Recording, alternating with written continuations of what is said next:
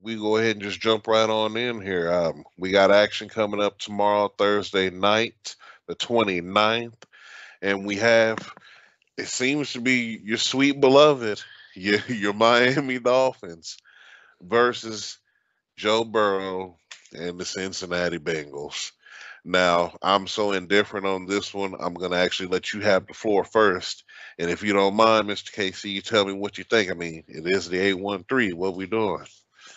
Well, as everybody knows, for the last three weeks, I have picked the Miami Dolphins to win their games. So it should become no shock that I'm going to pick them for this road victory, even coming off a rough, rough game with the Bills. Uh, and I, it really scares me that they're the away team here. Uh, I think that's a big leg up for Joe Burrow.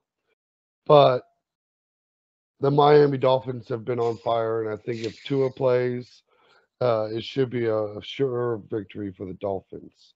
That dude with the beard, have I finally convinced you that these Fins are a real team? I wouldn't say that I'm convinced just yet, Mr. Casey, but I'm definitely going to go with Miami because I thoroughly know that these Bengals aren't ready for action. So yeah, I, I would say it's my disbelief in the Cincinnati Bengals right now that'll push me toward Miami winning this game. I think Miami uh, are looking pretty feasible. They have quality wins. I'm not taking nothing from them. I mean, looking at their stats in these wins, it's, it's a lot of gritty play. Um, we'll have to see how that you know serves them going down you know further along in the season. I think it'll be enough to get it done. Like you said if Tua plays against the uh, these bengals but this might be miami's trap game the game that brings them back down to reality. So we'll have to see but i'm going to go ahead and ride with these dolphins this week and we'll see if that pretty girl gives me her number.